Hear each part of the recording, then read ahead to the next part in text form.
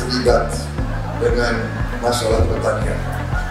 Saya kira masalah sangat-sangat sederhana. Tadi sebetulnya Menteri Pertanian sudah menyinggung bahwa masalah pertanian adalah masalah pangan, masalah pangan adalah masalah hidup dan mati. Ada pangan negara hidup, ada pangan bangsa hidup, tidak ada pangan, tidak ada negara.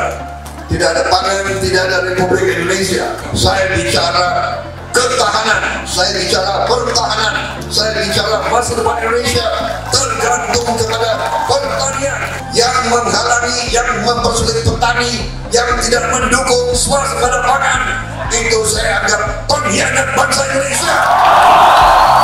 Seluruh petugas di bidang pertanian Anda sadar, kami prajurit dulu perang ya sekarang perangnya adalah mengamankan bangsa dari kekurangan pangan. Mau jadi negara negara makmur negara kuat jamin pangan